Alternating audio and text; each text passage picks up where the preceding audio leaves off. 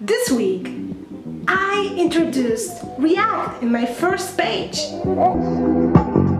That means you're extra, extra,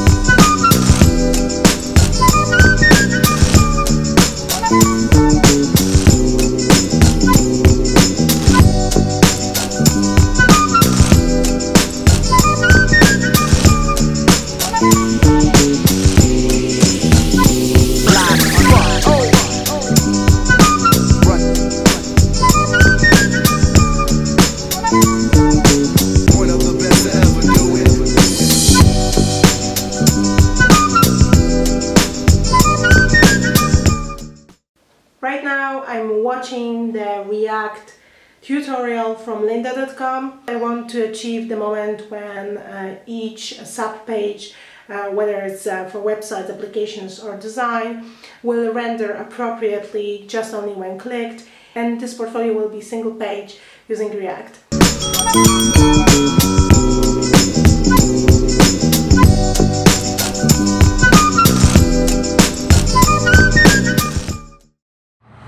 Discussion which desk is better, the one at which you are standing or the one at which you are sitting. I use both of them, but the best desk is the desk from which you stand up very often and go, go out in order to stretch a bit your muscles.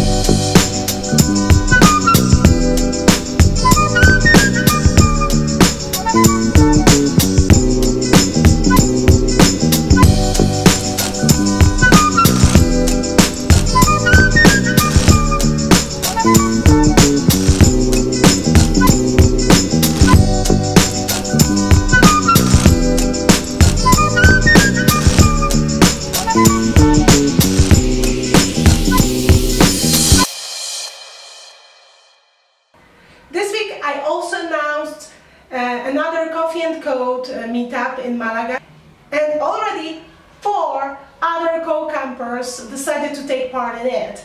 For our local Malaga Free Code Camp group, four members still is a step farther because more people are going to take part than the last time. This week I was learning a lot about React and I have just touched the basics of React. For developers who are programming in React for a long time, it's like nothing what I did. Despite the fact that it's a small step, I really appreciate that I managed to do it this week. Each step counts, especially if you learn something from scratch. You started, you did it, you used the first snippets of React code in your app, in your website, everything works and everything is fine. So now you can go the step farther. So making small steps but in the direction of progress is always what motivates me. This is how the page looks right now. Since the last week, I changed the pattern uh, here behind the, the colors. I created my own pattern in this section of uh, repositories. And I also added the pages that are loading here dynamically. So I chose few applications, one website right now, and uh, one example from design. I load these portfolio subpages using React. I use routing too. As you see, the link uh, changes dynamically. Look here, we have applications, website, and design. I tried the first time to load the subpages this way using React. It wasn't easy at first. Uh, I found a great article that helped me a lot, and I also ask for some advice, um, more experienced developers. This week I was also working on styling it a bit more. This is how it looks on smaller screens. It's fully responsive. One more thing I want to share and that I will provide link to in the video description below uh, is uh, the mockup tool, uh, the online mockup tool. You can customize uh, the final results, uh, so what size of the photo you get, um, and everything is online and you don't need to use Photoshop or any other tool. And right now, next week. So next week, Next week I'm going to continue with the portfolio side. I'm going to test it thoroughly. Next week I also got a few meetings and in one of them I will be revising and discussing my code of the previous project. Later it will be time to come back to uh, free code camp challenges.